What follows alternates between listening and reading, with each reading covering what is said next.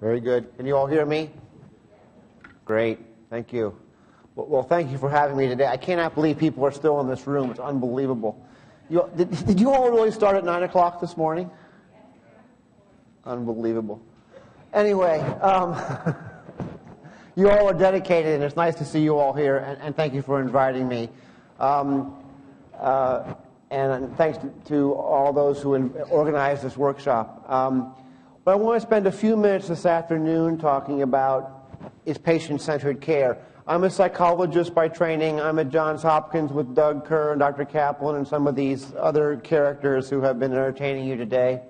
And um, I'll try to keep my end up as well. Um, so I want to tell you a little story. Doug knows that. We're going to talk about, what we're going to talk about today is I want you to know as patients and the physicians and others in the rooms who don't know about this is, you know, what's the thinking in medicine about where we need to go?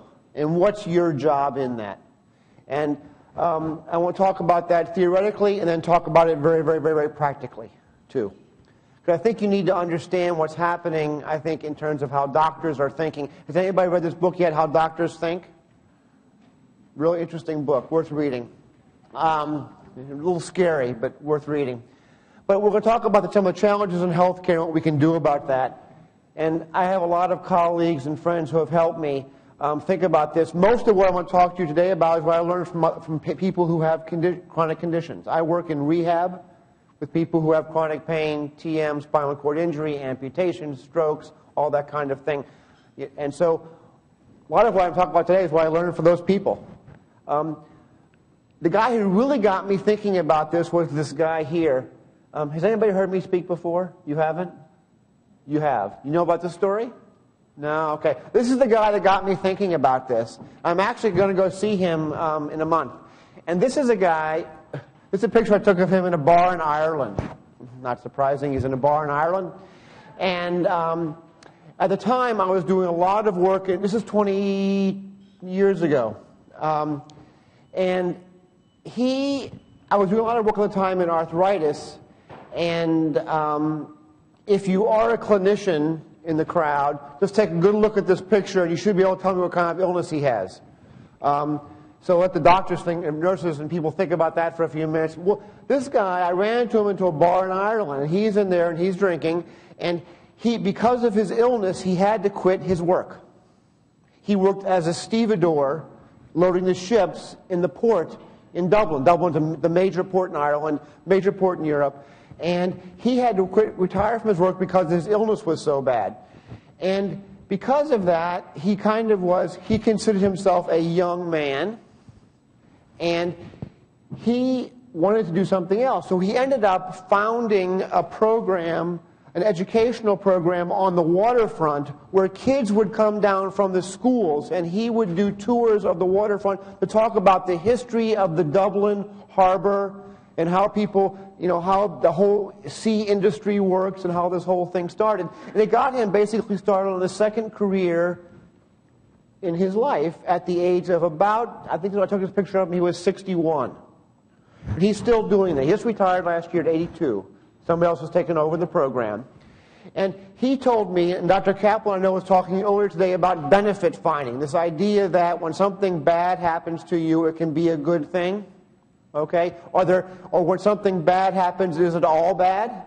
That, there are, that life is a mixture of events? Well, this guy got me thinking about the fact that, boy, when we start talking to people about what their conditions are, we spend a lot of time trying to figure out what is wrong with them. And no one ever asks them, well, what's going right for you? Or what strengths do you have? Or what skills, what knowledge, what ability do you bring to this problem?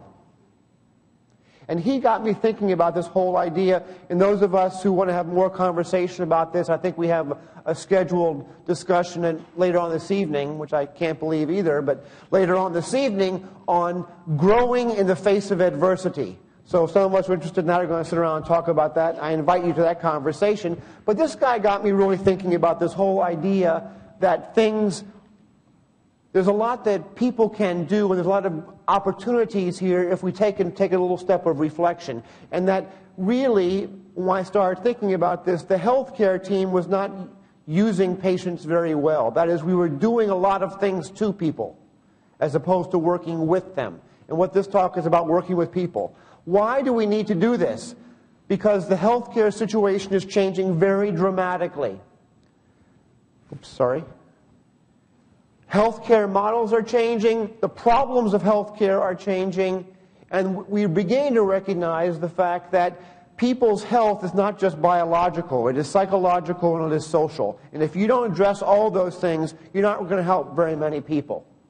And we need to recognize because of these first three things, there is increasing demands on patients and their families. We'll talk more about that in a second. So changing healthcare models. The fact of the matter is, traditionally, what healthcare focused on was pathology. What is wrong with you? Okay? And TM is the perfect example is we can tell you exactly what is wrong with you. And we can't do a hell of a lot about it. now, we're hopeful things are changing. There are things we can do to maintain function and so forth and improve the quality of life. But it's not like if we know what's wrong, we're going to fix it. A lot of the conditions we're dealing with now in healthcare are not things we fix. Let's pick the biggest healthcare problem facing our country. That would be diabetes. Okay, the, the most expensive healthcare problem we have right now is will soon be diabetes. We will overtake heart disease very, very shortly. We can tell you you have diabetes, but that doesn't fix the problem, does it? There are things we can do to manage diabetes so people don't die or lose their leg or lose their eyesight, but it's not a fixable problem. But the focus on pathology was a good thing. It helped us understand what's wrong with people. The problem is, is that it caused us to, to focus for a very long time just on how are we going to cure this which is something we need to work on. But what are we going to do while we're working on cures? Okay, we and the problem was is that we were so successful for so long. We don't think about polio, do we anymore? You know, when, I, when some of us were young growing up, we were coming in just at the beginning end of the polio scare. We don't think about polio anymore. We don't think about measles. We don't think about people dying from these illnesses because we have them under control. And that works, that's very powerful work, but it doesn't deal with all the healthcare problems we're dealing with nowadays. The problem with taking only a cure based approach, which is important, but only half the story, is it says, well, just sit there, we'll get back to you when we have something to do to you. Well, that doesn't work. Okay? It also reduces the fact, reduces the importance of the relationship between the physician, the nurse, the therapist, and patient. And says that's not really important. All that's important is what we stick into you. And that's not true either. Okay? And the other thing is, it says, well, if you have an illness, if you have disability, there's something wrong with you, and we're going to focus on what's wrong with you. And I would argue that is the wrong focus. That is, disability is not inability. Just because a person has an illness does not make them a sick person. Okay, the other issue here is the healthcare problems are changing, as I've alluded to. The big money in healthcare now is in chronic conditions. That's where the money is. Okay? If you look at the top three most expensive things going on, they're all chronic conditions. They are not things we are going to cure in the short run. And the fact is, people are living with disability longer, and patients are having to manage these problems for a lot longer time. The problem is, we have huge resources invested in the acute care business. If you get whacked on the way home, we're going to send a helicopter for you. We're going to scrape you out of the car. We're going to fly you to the level one tra- shock trauma center. We're going to run up a bill of probably right around $250,000 to save your life. We're going to take care of you, and then we're going to send you home. But we're not going to give you any therapy in your house. We're not going to build a ramp for you. We're not going to pay for a wheelchair except for one every three or four years. This is like craziness. I'm not saying we shouldn't save people's lives, but if we're going to save their life, let's make life worth living. Our healthcare system is all built around acute care, nothing about chronic care. This is a big problem in our country, which we're just beginning to think about. The problem here to, is, is that while people like Dr. Kerr, Dr. Kaplin, Dr. Pittock, they work long hours. I mean, they work 50, 60 hours a week. But the issue is, who is doing the real work of healthcare? Who does most of the work on healthcare? Who? Nurses. They work. They think they work hard. Who? Yourself and the family. There's a lot of work to be done here. You got the direct illness work. You got to find a doctor. You got to make an appointment. You got to deal with the insurance company. You got to take care of managed care. You got to figure out can you get in? Is the place wheelchair accessible? Maybe it's not. You got to do the own the psychological work. You got to re- refigure out who you are, and you got the everyday life work. It used used to get up, get showered, get out of the house in a half hour. Now that takes two and a half hours. This is work. There's a lot of work. A lot of work. There's a lot of work to do, but the work is invisible. No one pays attention to it except for you and your family. Right? People don't want to help you with it. It's, and no one teaches you how to do it. you kind of pick it up along the way somehow, or a website, or come to a meeting, but the patients and families are the central workers of healthcare. If, if any of you all are TV watchers, you, you know, of course, that we're on TV now. I don't know if you've seen, you've seen, have you seen any of us on TV on Hopkins 24-7 on Thursday nights at 10 o'clock on ABC? A couple of us have passed through those, have passed through the, I was in a shot for like a, that long the other night. I mean, it was literally that long. they don't, they're not interested in rehab. They want to look about people getting gunshot wounds and having their brain tumors. They don't want to see the real work of healthcare because what is that? It's not very glamorous. Person going to PT week, day after day, week after week, working out, dealing with it. That's not, there's not much good TV in that. We never get on these 20, Hopkins 24 7. But the fact of the matter is, only patients and their families work 24 7. The doctors go home. They, they do get off. Even the residents can't work more than 80 hours a week. We don't, they're not allowed to do that anymore. So sometimes you feel like this dinosaur here. The picture is pretty bleak, gentlemen. The world's climate is changing. The mammals are taking over, and we have the brain about the size of a walnut. I mean, these guys recognize. So sometimes those of us who are the chronic condition business think like we're like the dinosaurs. No one, we're like, no one's, we're, we're going to lose out here. But I think there are things that we can do. We need to change how we take care of people. We need to change our healthcare models. We need to change our research. We're not talking about research today. But how do we respond to this whole thing? Okay? There are several things we need to do. Is we need to realize that patients and families are the central workers, and we need to help them do that. I spent a lot of time training doctors and nurses trying to get this into their mind. The patients and the families are doing all the work. Your job is to help them do what they have to do. Okay? The other point here is that we need to realize is that people are very resilient. They will bounce back and do bounce back. How can I figure out what this person's strengths are and build on those? As opposed to also telling them always what's wrong with them. You know? The doctor asks all these questions, you know, are you sleeping? Are you crying? Do you want to kill yourself? Okay, I'm not depressed. But no one says, well, that's great. You're really doing a great job. They say, okay, now on to the next. Let me ask you some more questions to find out something else that is wrong with you. No one wants to talk about what you're doing right. That's not very interesting because we can't get paid for that. Of course, you can't get paid unless you have a diagnosis. There's no diagnosis with patient doing well. That's not, there's no diagnosis there. One of the solutions to this problem is patient-centered care. Has anybody ever heard of patient-centered care? You've heard about it, but you don't know about it. This comes out of a report by the Institute of Medicine called Crossing the Quality Chasm. And you all have heard about this. Who heard about the report that came out about a year and a half ago that said American medicine is killing 275,000 people per year? Anybody hear that? above the fold, New York Times. This is the one that said, this is the report that said people are getting the wrong medicine, they're having the wrong leg cut off, they're getting uh, misdiagnosed, and 275,000 a year are dying because of safety issues, right?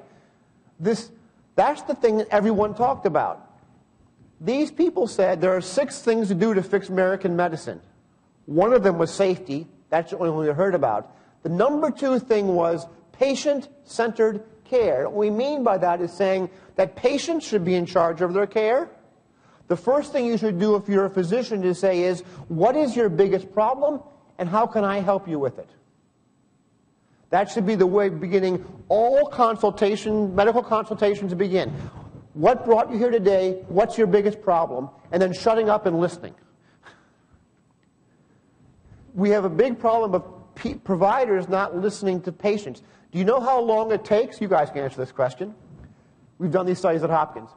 From the time a patient comes in the office and, and the, patient, the physician or nurse says, Well, you know, what brings you here? How long is it before they start talking on average? Somebody want to guess? Four and a half seconds. 17 seconds. One second. It's not quite that bad, but it is measured, it's, it's within a minute and a half. Within a minute and a half, the healthcare provider will interrupt the patient and start going down some road. That is not patient centered care. okay? What we need to think about in American medicine is empowering patients to be participants in their own care and to activate them to do this work. So, patient centered care is about these things respecting patients' values, what's important to them. What American medicine should be about is coordinating care for people, linking them up to home care services, PT services, activity programs, wellness clinics that we should be focusing on their physical comfort, their emotional support, and involving their family and friends in their care. This is obviously an ideal, not reality. You know, so basically, American medicine is discovering what patients have known all along. You know, people are being promoted to full professor who are writing these books. But you guys have known this for a long time. You know, these guys are saying, for crying out loud, gentlemen, that's us. Someone installed the one-way mirror backward. These guys are doing a, are doing a scientific study of the, uh, of the, of the primates. So the fact of the matter is patients have known this for a while. The rest of us are just kind of catching up to where you all are. So it, it, this is the hopeful news. This is the big news I'm bringing you today is American medicine is beginning to catch up to where the patients are. And that is great because this was in the New England Journal in 2007. Okay? That's how big a news it was in medicine. That this is how we should be practicing. Okay? This, I think, is tremendous progress for those of you all who are in the trenches. So, I'm going to skip these and go right to the meat of the matter. So, what a lot of organizations are doing is developing self management programs for people with different kinds of health problems. That is teaching you to do the work you have to do. So, we have one for arthritis. There's one for arthritis. You may know the arthritis self help program. There's one there. We have one for amputees that we've developed. We have one going on here. I apologize, this slide is very, very complex. We have one now, we're just rolling out for trauma survivors. That is, if you get hit with a car, this is going to be available to you. We're going to work with the TM Association over this next coming year to tie in the, the, TM Association into a program like this. And what this allows you to do is to go online and hook up to other people who have a similar kind of condition, which you guys already have going on. And we're going to put into this what we call the Next Steps program, which is teaching people to manage their condition. The skills you need to know to manage your condition how to talk to your doctor, how to manage depression, how to manage anxiety, how to um, assert yourself with the insurance company, how to manage pain. These are all modules in this program, and we're beginning to roll this out now, and hopefully over the next year in partnership with the TMA, we're going to roll one out for you all online. So we're, we're really excited about this. We think it's going to be a cool thing. So we think by hopefully this time next year, we'll have a program, which will be very exciting. I think. So you'll be hearing more about that. So over the coming year. So what I want to end up here talking about is the fact that what treatment should be about is not just fixing what is broken in people, but it's nurturing what is best. That is, you should be looking for aligning yourself with people, both in terms of your own personal support network, but also with physicians, other providers, who see you as more than a condition. And understand what your personal goals are. What would make a difference to you in terms of getting better? What does being better mean for you? It's not as simple as just walking or just being able to use my hands better. There, sometimes that goal is not the only goal that needs to be worked towards. This guy goes by Mike, by the way, as you can might imagine. Um, okay.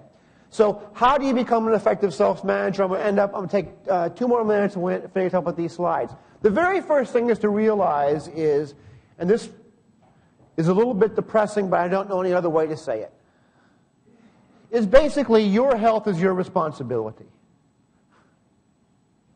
That's what it comes down to. A physician, a nurse, a social worker, a PT, whoever you have working with you, that's great. But really, this problem is your problem. That's just the reality.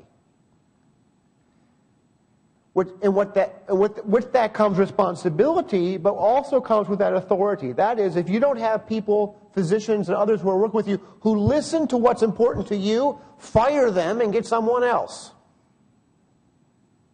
Because ultimately, they're going home to their house, and you're going home to your house. And if they aren't doing what they want them to do, and if there's physicians in the room, just close your ears, is a physician is basically a plumber. You call a plumber, he comes to the house. If he doesn't listen to you and go into the right room and put, do what you want him to do, you get another plumber. That's not to say a doctor can't always fix everything you want fixed, but do they listen to you?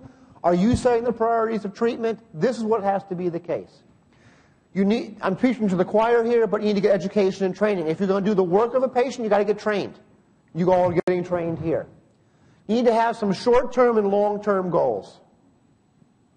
Any patient who cannot tell me, what are you working on in the short run and what do you want to do long run is in deep trouble.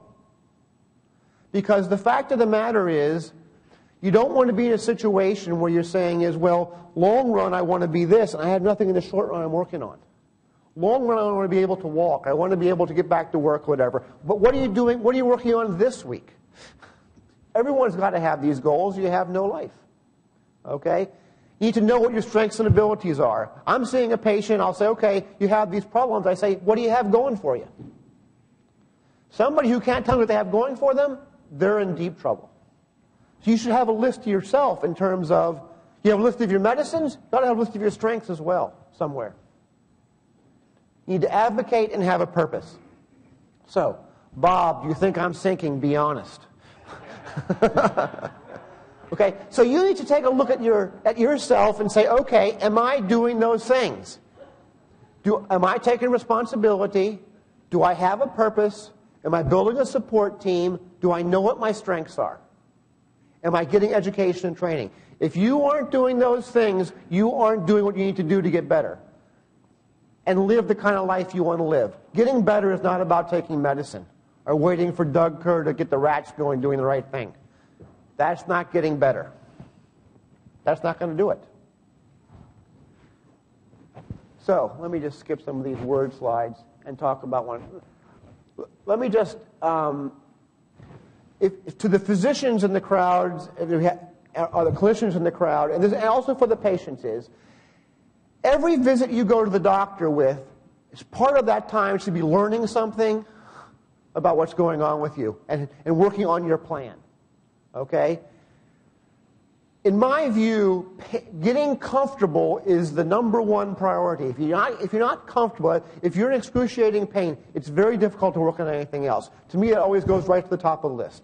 Pain management has got to be number one. You can't, if, you don't, if you're in pain, you can't do anything else. Okay? And you as a patient, and also those of us who are clinicians, have to be willing to say, okay, what's going on with you emotionally? And you need to recognize in yourself where your own emotional temperature is. If necessary, do something about that. And a portion of this. If you, you don't need to take any notes if you don't want to. I should have said this. I want to put my email address up. You want these slides? I'll send them all to you. Just, I'll just whack them right to you. Okay? Or I won't, but somebody will. Just, I'll put up my slides in a minute. Okay? You should bring your family and friends to the visit. If you have a provider who doesn't let your family or friend come in with you, you need another doctor. Just that simple. You got to bring other people with you. Okay? So, I'm going to talk, skip over this part about children and go to the take home message. Sorry. So, we need to recognize that patients and families do most of the work. Those of us who are healthcare providers ought to be supporting you. If you're not being supported in your work, get other people. I know that makes, I don't mean to be flippant about that. I know it's hard to find good doctors. I know it's hard to find people to work with. You have to do, if you're in this room, you have a chronic health problem. You need to upgrade. it may take you a year, but do it anyway because you're going to have this condition for more than a year, probably, if you're in this room. Okay? And you need to broaden your goals from fixing this problem to improving my life. Because if you're only focused on saying, I'm waiting for the cure, I'm, you're, you, I have a lot of concerns for you. It's just the truth. Things are moving fast. They're not going to move that fast. It's just the truth. So we need to move from a focus on the disease to creating health. That's what we need to be thinking about. So let me just. So I think about this whole thing. To end up here like gardening. I'm, I garden when I have any time to do anything. Okay. My sister's a great garden. These pictures are all from her garden. Okay? She's a professional gardener, but they're all from her garden. Her husband's a photographer. She's a professional gardener. But taking care of health is like gardening. If you want to get a good garden, you need to get the right tools. Okay? You need to have the right tools. You need to have the right team, get the right medicines, and so forth. You got to take care of the disease as best you can. Get rid of the bugs. Okay? You need to get rid of the problems. You got depression, let's take care of it. You got anxiety, let's take care of it. Weed, got to weed things out. But really, what makes for a great garden is you need to find a healthy environment. You need to surround ourselves by things that help us grow. We need to recognize what's hardy about myself and put myself in an environment I can grow on. And then you end up with a garden like this, you know. And this is where I live, way in the back of Johns Hopkins, you know. Um, this is my email address. If you want to email me, I'll be happy to um, send you send you slides. I'm way in the back here somewhere, right? Right. Doug, he's up in this fancy space up in here somewhere. I'm way back in the back back here. so this is my email address. I'm happy to um, uh, answer uh, to respond to questions over the internet, or I'm also happy to send you the slides if you'd like to have the slides. Um, and we'll, we'll, have an opportunity this evening to those who want to talk more about this idea of, of growing in the face of adversity. We'll have that conversation, I think, around 5.30 or something like that. So thank you very much.